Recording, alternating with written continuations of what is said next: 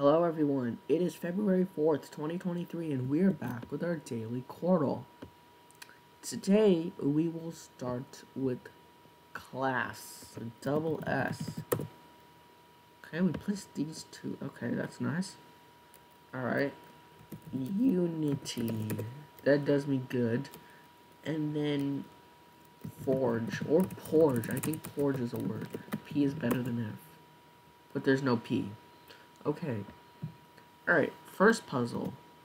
Um, erase, probably. Okay. Um, second puzzle, born. Uh, fourth, oh, third puzzle, sling. Fourth puzzle, is it Brook? Or is it Brood? Brook. Let's go with Brook. Nope, it's Brood. Or Broom. Oops. It is Brood. Are you kidding me? Oh. I wish I didn't even think about Broom now. Well, that was not a good solve, but that was quick, I guess. If you want to see more videos, please subscribe. If you have any questions or comments, please put those below. As always, thanks for watching. Bye-bye.